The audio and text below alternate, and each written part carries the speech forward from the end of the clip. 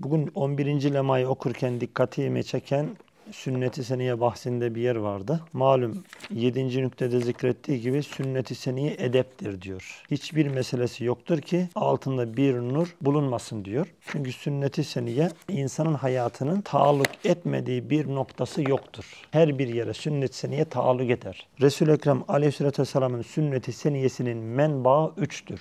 Akvali, sözleri, efali, fiilleri, ahvali, hal ve tavırları. Üç kısım dahi üç kısımdır. Farzlar, nafile ve adadı hasenesidir. Bak başında şöyle bir tabir kullanıyor. Mirkatı sünneti tiryakü marazul bid'a. Bunun ke- kelimenin manasına baktığın zaman ne diyor burada? Bid'a marazına karşı. Bid'a marazlarına, hastalığına karşı tiryak ilaç sünneti seniyedir. Kendimizi rehber edindiğimiz her anımız bidat diyebilir miyiz? O biraz hususi bir şeydir yani. Böyle bir tabir ben görmedim. Yani onun rehberliğinden çıktığımız zaman bidada değil miyiz? Ha, odur.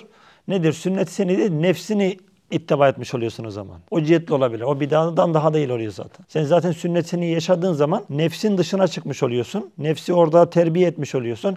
Ama sünneti seni bırakıp da nefsin şeyini yapmış oluyorsun yani orada.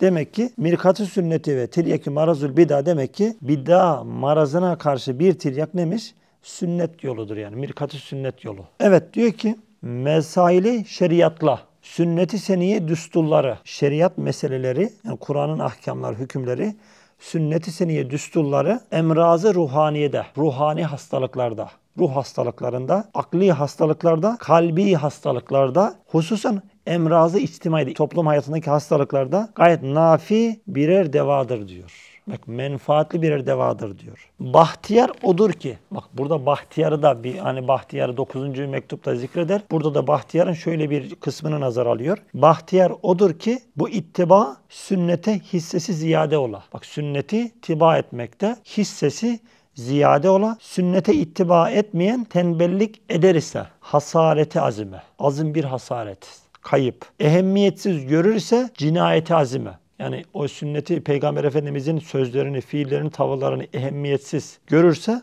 bu da cinayet azimedir. Tekzibini işmam eden tenkid ise dalalet azime. Onu yalanlamayı, inkarı, tenkidini işmam eden bir tenkid ise diyor. Bu da dalalet azimedir. Bak sünneti seniyedeki edep, adap yani takınmamız gereken vazife.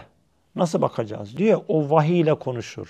Bak o vahiy ile konuşur. Sünnet-i seniyede Peygamber Efendimizin fiilleri, halleri, tavırları değil miydi? Sünnet-i seniyedeki edep o Sani Zülcelal'in esmalarının hudutları içinde. Rahman ismi ne iktiza ediyor? Adalet ismi ne iktiza ediyor? Rahim ismi ne iktiza ediyor? Hakim ismi ne iktiza ediyor? O esmaların hudutları içinde bir mahsi edep vaziyetini takınmaktır. Benim kanaatimce bunu Kastamonu layıkasında malum 123'te bir tabir var. Ne diyor orada? Rahmeti ilahiden daha ileri rahmet olmaz diyor. Hikmeti ilahiden daha ileri hikmet olmaz. Adaleti ilahiden daha ileri adalet olmaz diyor. Ha, düşündün bu edepsizlik oluyor. Sünneti seniye muhalif hareket olmuş oluyor. Aynı zamanda ne oluyor? Esmanın hudutları içinde mahsi edep vaziyeti olduğu için bir nevi Cenab-ı Hakk'ın istediği tavır budur. Hatta bunu yine 10. nüktede şöyle bir nokta söyler. Diyor ki ne diyor burada? İnsan için en mühim âli maksat Cenab-ı Hakk'ın muhabbetine mazhar olmaktır değil mi? Ne demek yani bu? Bu ayetin bir manasıdır. Ayetin nasıyla gösteriyor. Bak bu ayetin nasıyla gösteriyor ki o matlabı alanın yolu. Ne demek yani? Cenab-ı Hakk'ın muhabbetine mazhar olmanın yolu Habibullah'a ittibadır.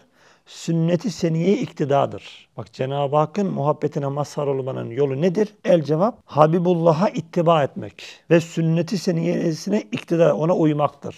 Eğer ona uyulursa Cenab-ı Hakk'ın muhabbetine mazhar olur insan. Eğer ona uymazsa o muhabbetten mahrum kalır.